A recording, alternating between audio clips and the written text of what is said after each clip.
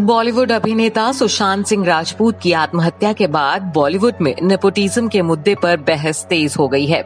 Police अपनी जाँच में जुटी है। सुशांत की आत्महत्या की सही वजह तलाशने के लिए मुंबई पुलिस ने तीन टीमों का गठन किया है। लेकिन इसी बीच सारा ठीकरा इंडस्ट्री में जड़े जमा चुके नेपोटिज्म पर फोड़ा जा रहा है। खासतौर से फ़िल्म मेकर करण जौहर और अभिनेता सलमान खान को निशाना बनाया जा रहा है। करण जौहर पर, जहाँ नेपोटिज्म को बढ़ावा देने का इल्ज़ाम लगाया जा रहा है तो वहीं सलमान खान के लिए कहा जा रहा है कि उन्होंने सूरज पंचोली का साथ देने के लिए सुशांत के पास आ रही फ़िल्मों को जानबूझकर छीना।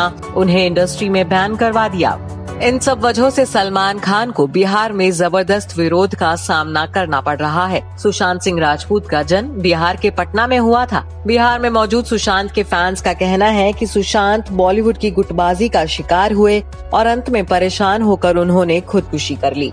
फैंस का ये आक्रोश तब और बढ़ गया जब सोशल मीडिया पर सलमान का एक वीडियो वायरल हुआ, जिसमें वह सुशांत के बारे में पूछे जाने पर जवाब देते हैं, कौन सुशांत? और अब यही आक्रोश बहिष्कार का रूप ले चुका है। जी हाँ पटना में मौजूद सुशांत सिंह राजपूत के गुस्साए फैंस ने बॉलीवुड के सुपरस्टार सलमान खान को पूरे प्रदेश में बॉयकॉट करने का फैसला किया है।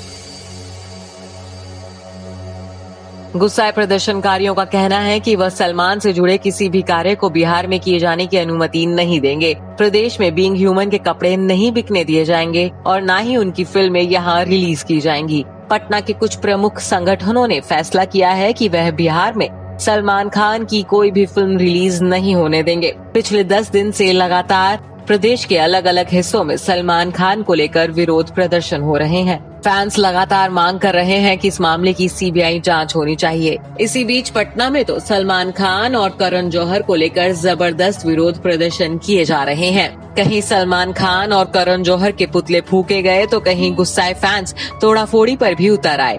पटना में सलमान खान के क्लोथिंग स्टोर बींग ह्यूमन पर प्रदर्शनकारियों ने ज़बरदस्त तोड़फोड़ की। लोगों का गुस्सा तब तक शांत नहीं हुआ जब तक स्टोर पर से सलमान के पोस्टर्स हटा नहीं दिए गए और मैनेजर ने स्टोर बंद नहीं कर दिया। सलमान खान को निशाना बनाते हुए गालियों से भरा वीडियो भी तैयार किया गया है। गालियों से भरे इस भोजपुरी गाने में करण जौहर और सलमान खान के लिए बेहद अभद्र भाषा का प्रयोग किया गया है। इतना ही नहीं, सलमान खान पर दोहरी कानूनी मुसीबत भी आ पड़ी है।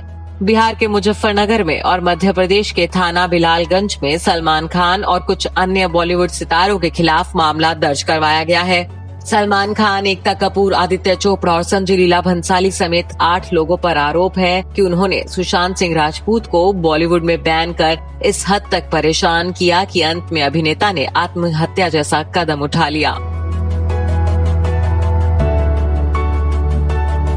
Bureau report, E twenty four.